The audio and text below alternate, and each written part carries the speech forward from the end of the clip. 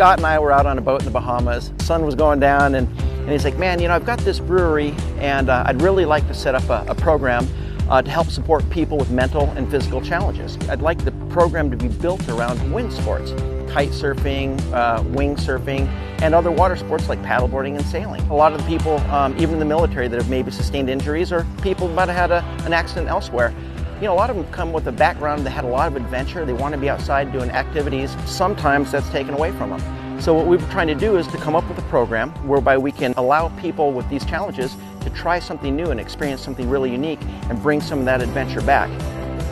Being on the water is therapeutic. If we can raise enough money and bring people into this environment and show them that there's a, there's other things that they can concentrate on that uh, will help them through their journey, um, hey, that's that'd be a, a done deal for us. That'd be the goal.